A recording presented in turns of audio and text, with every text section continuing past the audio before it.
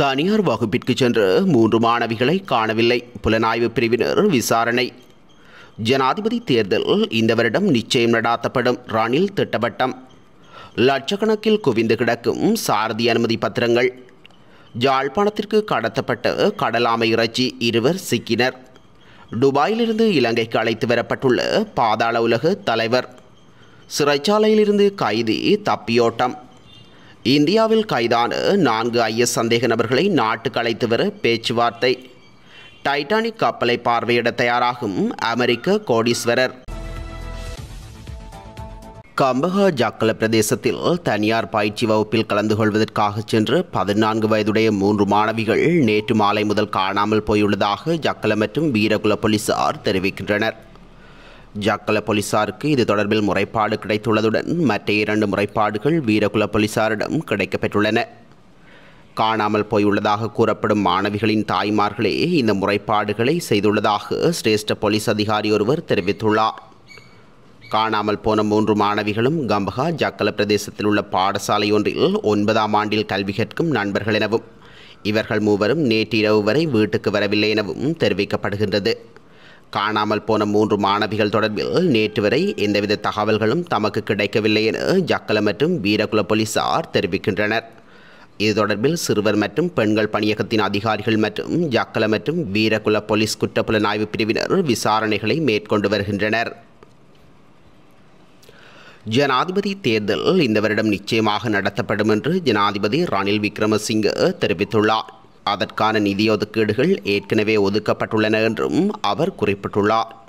ஜனாதிபதி அலுவலகத்தில் இளம் சட்டத்திறனைகளுடன் நடாத்திய சந்திப்பின் போதே ஜனாதிபதி மேற்கண்டவாறு கூறினார்.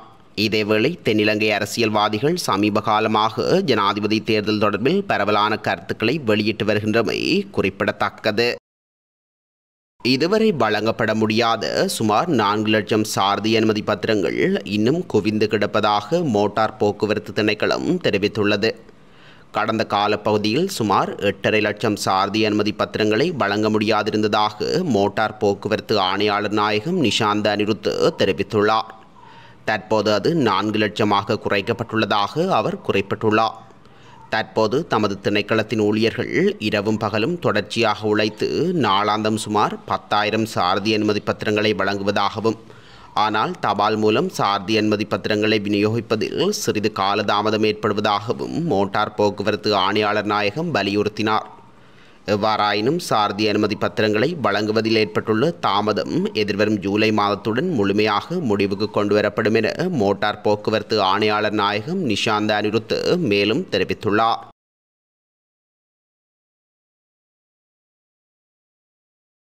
மன்னாரிலிருந்து யாழ்ப்பாணத்திற்கு சட்டவிரோதமான முறையில் கொண்டு செல்லப்பட்ட ஒரு தொகுதி கடலாமை இறைச்சிகளுடன் இரண்டு சந்தேக நபர்களை காவல்துறையினர் கைது செய்துள்ளனர். குறித்த சந்தேக நபர்கள் நேற்று பள்ளமடு பிரதான வீதியில் வைத்து மன்னார் குற்றத்தடுப்பு பிரிவு காவல்துறை பிரிவினரால் கைது செய்யப்பட்டுள்ளனர். இதன்போது இவர்களிடமிருந்து எண்பத்தி ரெண்டு கிலோ கடலாமை இறைச்சி பொதி செய்யப்பட்ட நிலையில் மீட்கப்பட்டுள்ளது.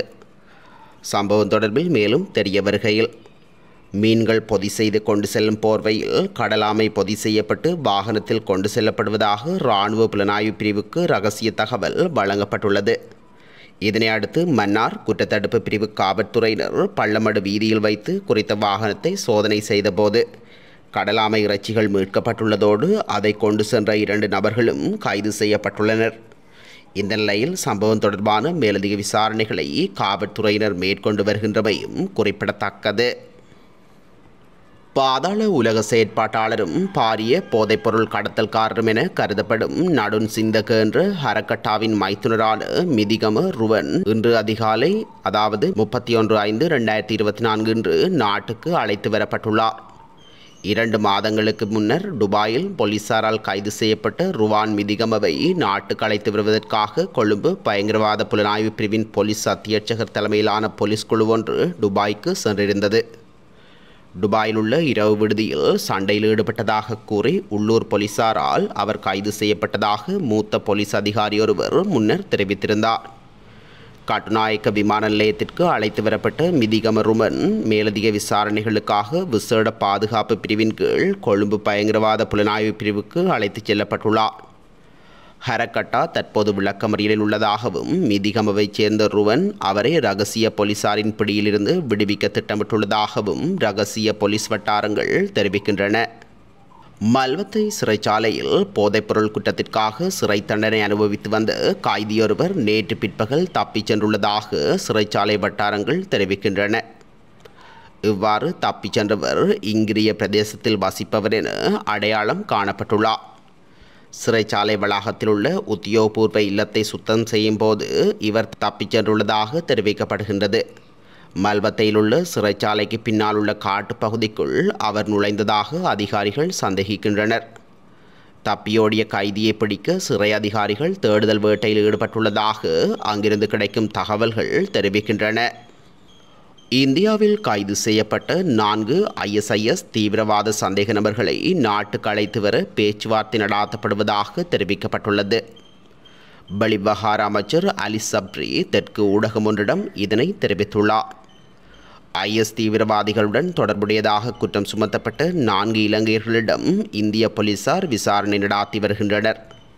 இந்த சந்தேக நபர்களை நாட்டுக்கு அழைத்து வருவது தொடர்பில் ராஜதந்திர ரீதியிலான பேச்சுவார்த்தைகள் மேற்கொள்ளப்படுவதாக அவர் மேலும் தெரிவித்துள்ளார். சந்தேக நபர்களிடம் உயிர்த்த ஞாயிறு தற்கொலை தாக்குதல் தொடர்பில் விசாரணை நடாத்திய போதிலும் அவற்றை அவர்கள் நிராகரித்துள்ளனர். நாட்டுக்கு அழைத்து வந்ததன் பின்னர் அவர்களிடம் இது குறித்து மேலும் விசாரணை நடாத்தப்படும் என அவர் குறிப்பிட்டுள்ளார். இந்த சந்தேக நபர்கள் போதைப்பொருள் வர்த்தக நடவடிக்கைகளுடன் தொடர்பட்டிருப்பதாக தற்போதைய தகவல்களின் மூலம் தெரிய வந்துள்ளதாகவும் தெரிவித்துள்ளார். அமெரிக்காவின் ஒஹோயோ பகுதியைச் சேர்ந்த கோடீஸ்வரரான லேடி கானர் டைட்டானிக் கப்பலை பார்க்க திட்டமிட்டுள்ளதாக தகவல்கள் வெளியாகியுள்ளது. இதற்கமைய எதிர்வரும் ரெண்டாயிரத்தி இருபத்தி ஆறாம் ஆண்டு கடலுக்கடியில் செல்ல புதிய நீர்மூழ்கியொன்றையும் வடிவமைத்து வருகின்றார். எழுபத்தி நான்கு வயதான லேரி டைட்டானிக் கப்பலை பார்ப்பதற்காக செல்ல உள்ள நீர்மூழ்கியில் இரண்டு பேர் பயணிக்கலாம் என தெரிவிக்கப்பட்டுள்ளது. மேலும் கடலில் சுமார் பனிரெண்டாயிரத்து ஐநூறு அடி ஆழத்தில் செல்லும் இந்த நீர்மூழ்கி பயணத்தில் அறிவியல் பூர்வமான ஆய்வுகளும் மேற்கொள்ள உள்ளதாக கூறப்படுகின்றது. இந்த நீர்மூழ்கிக்கு the Explorer return to the Titanic என பெயர் வைத்துள்ளதாக கூறப்பட்டுள்ளதுடன் சுமார் இரண்டு மணி நேரத்தில் கடலின் பதிமூன்றாயிரம் அடி ஆழம் வரை இதில் பயணிக்கலாம் என தெரிவிக்கப்பட்டுள்ளது. இது தொடர்பில் லேரி கூறுகையில் டைட்டானிக் கப்பலை பார்க்க செல்லும் வெறும் பயணம் இதுவல்ல.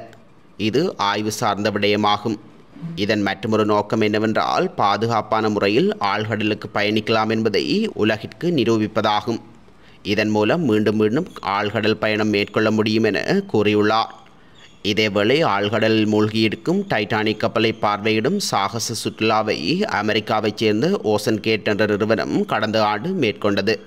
இதற்காக இருபத்தி ஒரு அடி நீளத்தில் டைட்டன் என்ற சிறப்பு நீர்மூழ்கியை அந்த நிறுவனம் தயாரித்திருந்தது. இதில் கடந்த ஆண்டு ஐந்து பேர் பயணம் மேற்கொண்ட நிலையில் அதன் தகவல் தொடர்பு துண்டிக்கப்பட்டதுடன் தீவிர தேடுதலுக்கு பிறகு அவர்கள் ஐந்து பேரும் உயிரிழந்ததாக தெரிவிக்கப்பட்டிருந்தமையும் குறிப்பிடத்தக்கது.